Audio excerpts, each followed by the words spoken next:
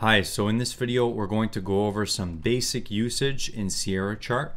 We're going to talk about connecting to data, opening a chart, saving and working with chart books, and some basic drawing tools and adding studies to charts. So this is what Sierra Chart should look like the first time you turn it on. And what we see here is all of the available windows that we can click on and drop down as well as the default control bar. So if we click on window and then control bars, you can see that we can have up to eight different control bars and these control bars can be fully customized. So this is the default control bar here. When you see this box highlighted in green, it means that you're connected to your trading service or data feed. Let's go over to file and then data and trade service settings. This is where you're going to select your trading service to connect to. By default, you'll be connected to SC Data All Services, which is not a trading service. It's only the data that is being provided by Sierra Chart. So if we click on this to bring down the drop-down menu, these are all of the supported trading services that Sierra Chart supports. And one thing to note that is important is no matter which trading service you connect to, any data you subscribe to through Sierra Chart will be fully supported no matter which trading service you're connected to. So for the purpose of this video, let's stay connected to SC Data All Services. Remember to press Apply All and then OK. Now let's just talk briefly about connecting and disconnecting to the data feed. So I'll click on File and go down to the bottom here disconnect and connect to data feed. You can see that there's also shortcuts for these functions.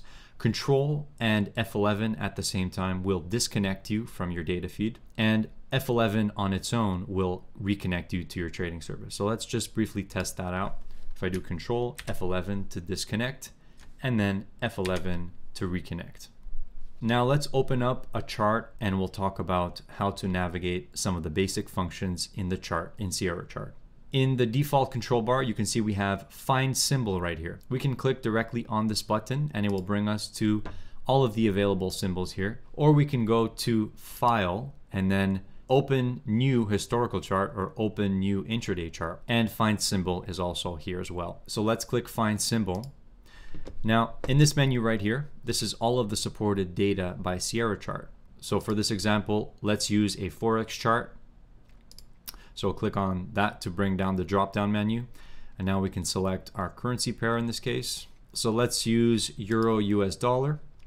Now we can open up a historical chart, which is any chart with a time frame of one day or higher. Any chart with a time frame of less than one day will categorize as an intraday chart in Sierra chart. We can also open up a trading DOM. So let's open up an intraday chart and our symbol has loaded. Sometimes, depending on the amount of data you need to load, you'll see a message that says downloading historical data, and you just need to wait normally a few seconds for that to finish. So you can see that we have a one minute chart currently. Let's talk about some of the basic customization and basic things that you need to know when navigating a chart in Sierra Chart. The first menu that you need to become accustomed with is the chart settings window. How to get there is very simple. We go up to chart then chart settings. You can see we can also press F5 to get directly to this menu. I would suggest memorizing some of these basic hotkey functions so that way you can navigate the platform quicker. So this is our chart settings window. In this menu contains all of the basic and advanced settings that have to do with the chart that you've selected. This is where you choose the number of days to load, the tick size and price display format, volume at price multipliers, the time frame of the chart, as well as the graph draw type for this chart. There are three menus of advanced settings that we can cover in a later video. For example, if we wanted to change this one minute chart to a 15 minute chart, we could simply go right here to our intraday chart bar period and change this middle number here. As you can see, it's currently set to a one we can add a 5 right next to it. And now this will be a 15 minute chart. So let's hit apply and then OK. And you can see that our chart is now a 15 minute chart. Now, if we want to change the way our bars look, for example, we want candlestick bars, we go up to chart and then graph draw types and then select candlestick bars. Some of the most popular graph draw types are the open, high, low, and close bars, candlestick bars, as well as the line on close if you just need a basic line. So we'll select candlestick bars here. Now if we look up at our control bar, you can see here that there's a few buttons here that can allow us to change the time frame of this chart. So for example, if I click on one minute, it will switch us back to a one minute chart we can click on 30 minute to switch over to a 30 minute chart. These time frame buttons on the control bar here can be customized to bring up any type of chart that is supported in Sierra chart, including range bars, point and figure, volume and tick charts, etc. So one very good feature here that's available is the ability to switch time frames with keyboard shortcuts for any chart in your chart book. So I've already showed you that you can customize control bars with the custom time frames that you want. And I'm going to demonstrate a keyboard shortcut now. So if I type the number 5 and then the letter M and then press enter, I'll switch this chart over to a 5 minute time frame. Now you need to make sure that the chart is selected before you start typing. So I'll do another one there, 30 M. You can see that when I type, the characters appear on the top of the chart there. This is supported for any type of chart that is supported in Sierra chart. So let's say you wanted a 40 tick range chart. I'll type 40 R and then enter. This also works for point and figure, tick charts, volume charts, etc.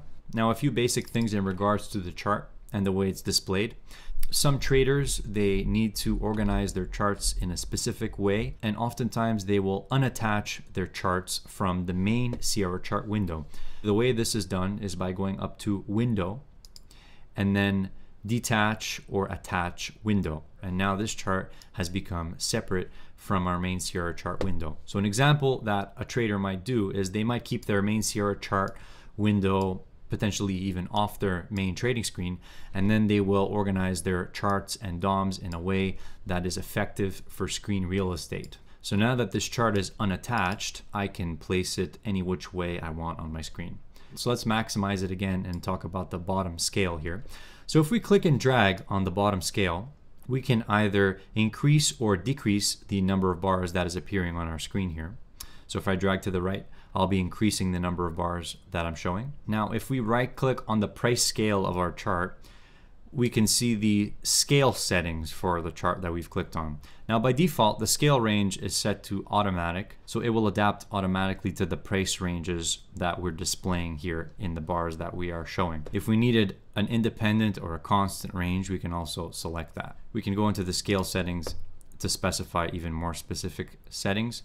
This is useful when you are using chart DOMs and you want them to stay at a constant range. For the charts, generally most users will prefer to keep this on automatic for charts. So now we're going to talk about saving our chart books. When we have our charts laid out on our screen, they exist in something called a chart book. So we had a chart book appear and it's called chart book 1 by default. So now to save this chart book, you go up to file and then save as.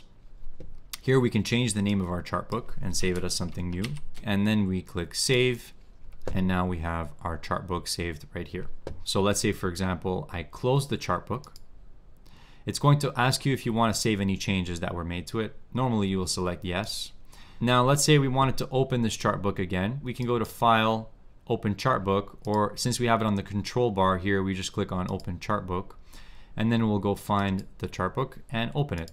If you want to have chart books open by default when you open Sierra Chart, you go up to global settings, then general settings.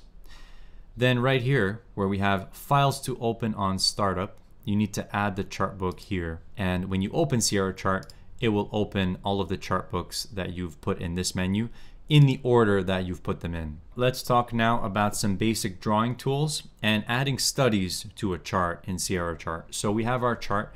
Let's go up to tools now in this menu, we can see these are the most commonly used drawing tools right here. And almost every single one of them has a shortcut already assigned to it by default.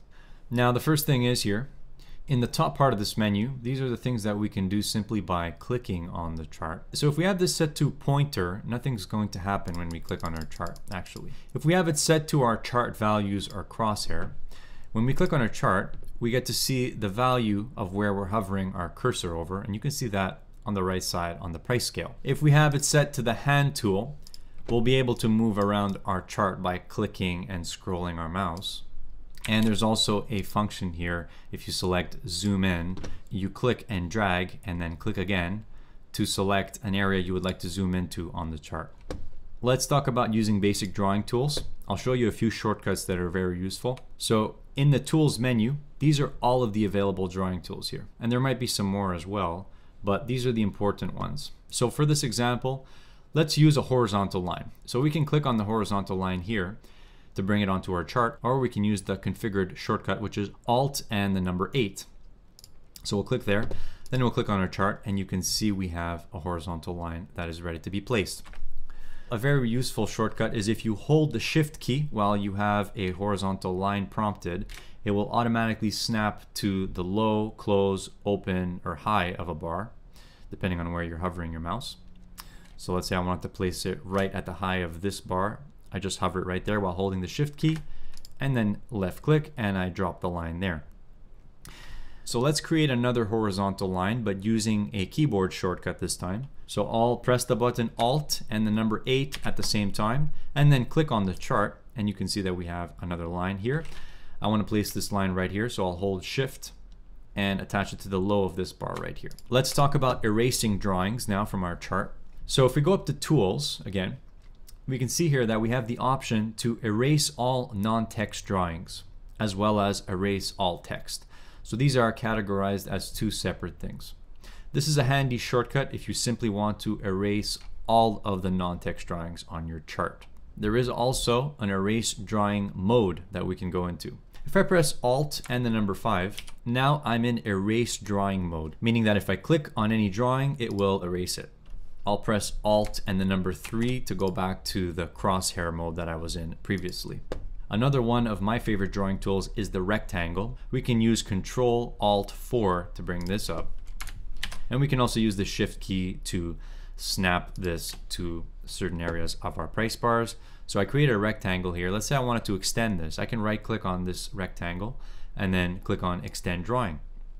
Now if I wanted to erase this rectangle, I can right click on it and then choose Erase Drawing. Or you can use the Erase Drawing mode if you need to erase many drawings one after another. And the last way would be by using Shift Alt L to simply erase all non-text drawings. These are some shortcuts that are useful when it comes to working with drawing tools in Sierra Chart. Let's talk now about adding studies. We can go up to the top of our chart here, Analysis, then Studies. These are all of the studies available by default in Sierra Chart. Some of them are very complex, like a correlation coefficient or numbers bars and some of them can also be simple like a moving average. Let's add a moving average. So we click on the study we want, then we click right here on add. When we press apply, it will add the study to our chart. To configure our study, we double click on the study here. We can also have it selected and then click on settings. In this case, it's a simple moving average, so there's not many inputs involved with this study. In the case of a more complex study, there's going to be more inputs here. So in this case, we have two inputs. Our input data for this moving average is based on the last traded price. Then the length of this moving average was set to 10. I'll change it to 21. When I press apply, it will work. We can also select what this study is based on. In this case, by default, it will be based on the main price graph. But this is to be used when you want to have studies that are based on other studies on your chart. This is one way that Sierra Chart offers some pretty advanced capability to its users. If we need to configure the visual look of our study, we go up here to subgraphs. And this is where we can configure how it looks visually on the chart. So in this case, the color is here. The draw style is here. It's set to a line. It's a solid line and it has a width of one. We can increase the width and then hit apply to change that width right there. If we need the value of this study to be displayed on the price scale, we need to check this box right here and then hit apply. So in this video, we covered some basic usage of Sierra Chart. In future videos, we'll go over some of the more advanced functionalities like customizing chart regions, control bars, overlaying studies, creating custom symbols, etc.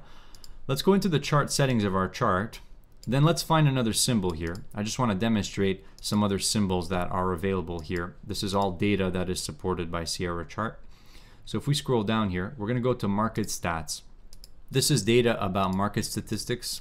We have the advanced decline ratios for the various stock exchanges here. Let's go all the way down to our tick indicator.